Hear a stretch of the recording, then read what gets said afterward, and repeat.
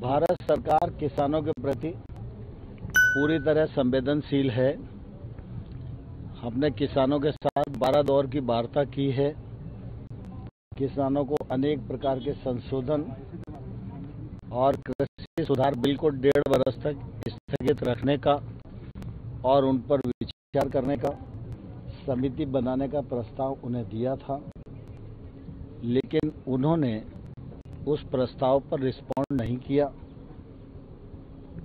जब भी किसान सरकार के प्रस्ताव पर अपना मत लेकर आएँगे तो सरकार आज भी उनके साथ वार्ता के लिए तैयार है। जो प्रस्ताव आपने दिया था उससे कुछ और आगे सरकार कुछ और ऑफ़र देने के लिए तैयार है विचार करने के लिए तैयार है?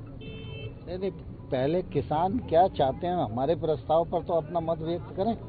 जैसे बीच में सर लेकिन वो जिस तरीके से महापंचायत कर रहे लग तो नहीं रहा कि वो बातचीत के लिए तैयार है। धमकाते नज़र आ रहे भाई ये तो डेमोक्रेसी है कोई भी महापंचायत करे आप सब लोग भी शुरू करो महापंचायत क्या दिक्कत है? सर एक एक एक सर एक सवाल है कि आपने ज़ीरो बजट फ़ायदे खेती गिनवाए के हैं। लिए किसानों को इस कृषि कानूनों के अगर इतने ही किसानों के हित में है और इतने फ़ायदे हैं और जिसके लिए किसान कुछ आप कह रहे हैं सपोर्ट में भी है मान भी रहे हैं ये फ़ायदे हैं।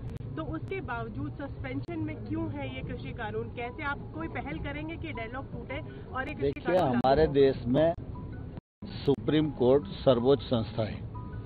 सुप्रीम कोर्ट ने कुछ समय के लिए कानून के क्रियान्वयन को स्थगन किया है। हम सुप्रीम कोर्ट के प्रति पूरा विश्वास रखते हैं और इसलिए सुप्रीम कोर्ट का जो निर्णय है उसका पालन कर रहे हैं। सुप्रीम कोर्ट की कमेटी देश भर के किसानों से मिल रही है। उसको जो फीडबैक मिलेगा, उसके बाद वो अपनी रिकमेंडेशन सुप्रीम कोर्ट को देगी।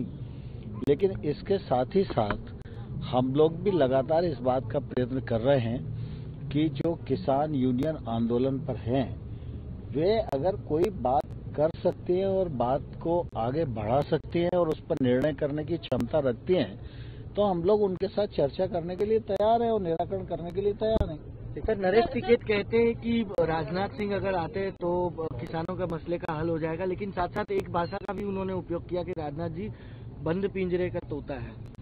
देखिए दरअसल क्या है कि मैं समझता हूँ इस प्रकार के जो प्रश्न रहते हैं उन पर टिप्पणी करना मेरा स्वभाव नहीं है। और मुझे लगता है इस प्रकार की टिप्पणी किसी को भी किसी बड़े नेता के मामले में नहीं करना चाहिए।